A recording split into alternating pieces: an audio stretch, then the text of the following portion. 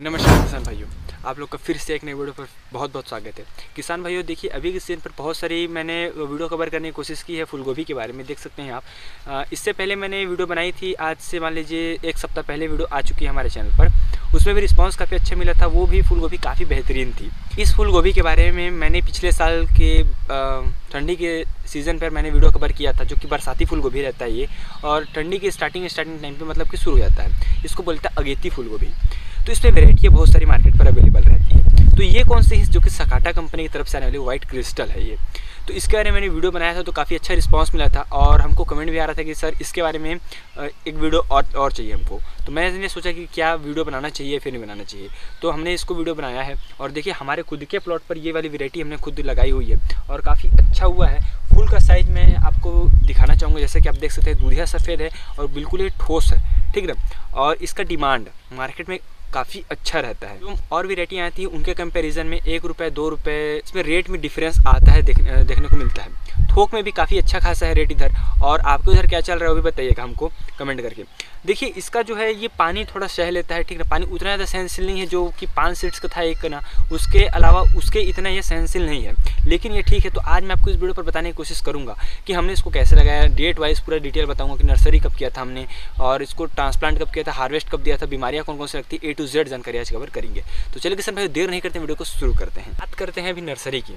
Nursery का हमने nursery इसको कब दिया था? देखिए सितंबर के महीने में हमने इसको नर्सरी दिया था। सितंबर एक या दो तारीख को सितंबर के स्टार्टिंग मंथ पे हमने इसका नर्सरी दे दिया था। और ट्रांसप्लांटिंग की बात कर रहे हैं, अगर हम ट्रांसप्लांटिंग हमने इसको दिया था चार अक्टूबर के आसपास इसको हमने ट्रांसप्लांटिंग दिया था। हार्वेस्ट ये कब तक रेडी हो गया? हार्वेस्ट अभी के, मान लीजिए पाँच छः दिन पहले स्टार्ट हुआ मतलब कि दो दिसंबर आसपास इसका स्टार्टिंग हो गया था हार्वेस्ट देने के लिए। और काफ़ी अच्छा है, देख सकते हैं आप, हमारा प्लॉट में भी काफ़ी अच्छा खासा इसमें ग्रोथ वगैरह काफ़ी अच्छा आपको देखने को मिल रहा होगा।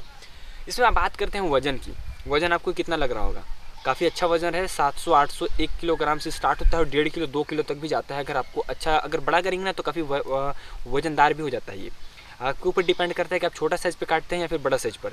हमारे हमारे एरिया बहुत ही अच्छा चलता है। देखिए, आधा किलो से लेकर के 700 ग्राम जो है, उतना जो वज़न रहता है ना, वो काफ़ी अच्छा चलता है। मतलब कि प्राइसेस काफ़ी अच्छी रहती है मार्केट पर उसकी। बात करते हैं अभी बीमारियाँ की। फूल गोभी में बहुत सारी बीमारियाँ भी लगती होंगी तो आपको पता ही होगा। देखिए, सबसे पहला बीमारी, देखिए, इसमें क्या लगता है? झुलसा। आपको पता होगा, जो कि पौधे को, जो पत्तियाँ इसका रहती है ना, वो पूरा उसको मतलब जला के रख देता है। फिर एक आता है झिल्ली कीड़ा, जो मतलब लटकते रहता है, उस टाइप का रहता है, जैसे वीडियो फ़ोटो में देख सकते हैं इस प्रकार का, वो भी काफ़ी परेशान करता है किसानों को। फिर आता है एक मोटा कीड़ा, जो कि पूरा खा डालता है, पूरा पत्ता को खा देगा या फिर पूरा फूल गोभी को बर्बाद कर देता है, ये सब बहुत सारी परेशानियाँ आती हैं। झिल्ली के लिए आप देखिए झुलसा के लिए आप उपयोग कर सकते हैं। बायोफ्राई भी मार्केट पर उपलब्ध है और बहुत सारी दवाइयाँ उपलब्ध है। देखिए, मोटा कीड़े के लिए भी कॉस्को वगैरह का उपयोग कर लीजिए। एक आध दो स्प्रे में सही हो जाएगा या फिर बीच बीच पर आप क्या कर सकते हैं इसमें कि कीफन वगैरह आपने नाम ज़रूरी सुना होगा जो या फिर जंतर। ये सब का उपयोग करिएगा। जो ये सब नॉर्मल जो बीमारियाँ हैं ना, वो सात दिन, आठ दिन अगर आप दवाइयाँ डालते रहेंगे डालते रहेंगे तो ठीक हो जाता है। करते हैं अभी ग्रोथ के लिए। अगर हम इसको लगाएँ तो बरसात का सीज़न है तो इसमें क्या है कि पानी तो ख़राब कर देता है। तो इसमें और कौन कौन सा खाद वगैरह डालें कि इसमें काफ़ी अच्छा खासा ग्रोथ आ जाए। आप देखिए स्टार्टिंग पर अगर अपने लगा लिए फिर पानी उन्हें दे दिया तो ये तो देखिए नॉर्मल तरीके से है। होता है, देखिए ड्रिप इरीगेशन सिस्टम भी रहता है जैसे। हमने, हमारे एक पिछले वाला प्लॉट था, वो था ड्रिप इरीगेशन सिस्टम वाला, उसके मैंने वीडियो बनाया था हमारे किसानों के लिए। अभी बात कर रहे हैं, देखिए नॉर्मल तरीके से। तो नॉर्मल तरीके से क्या किया जाता है? उसमें सबसे बेटर जो रहता है यूरिया वगैरह यूरिया दे, डाल दें आप, या फिर डीएपी डाल दें, ये सब का डाल करके आप क्या करें कि इसको मांदा दे दें तो सही रहता है। आता है देखिए जो नैनो एरिया आपने नाम ज़रूर सुना को। नैनो एरिया से अगर आप करते हो तो क्या होता है उसमें कि स्प्रे करेंगे तो यूरिया डालने के अकॉर्डिंग वो काफ़ी अच्छा भी रहता है। अगर आप नैनो एरिया का उपयोग करते हैं तो। बात करते हैं अभी प्राइसिंग की। ये इस फूल गोभी का जो पैकेट का 10 ग्राम का वज़न पैकेट रहता है उसको प्राइस क्या रहता है? देखिए चार सौ से लेकर के साढ़े चार सौ रुपये आसपास इसका प्राइस एकदम प्राइस इसका पड़ता है, वो जो कि आप चाहे तो लगा भी सकते हैं। किसान भाई आज मैंने आपको इस वीडियो पर बताने की कोशिश की कि फूलगोभी कैसी की, खेती कैसे की जाती है, जो कि सकाटा कंपनी की तरफ़ से आने वाली व्हाइट क्रिस्टल फूलगोभी है। प्राइसिंग से लेकर के मैंने कब लगाया था हमने ग्रोथ कौन सा आता है ग्रोथ कैसे कैसे आ सकता है या फिर बीमारियाँ कौन कौन सी लगती है तो सारी जानकारी मैंने आप, आपको इस वीडियो पर कवर करने की कोशिश की है।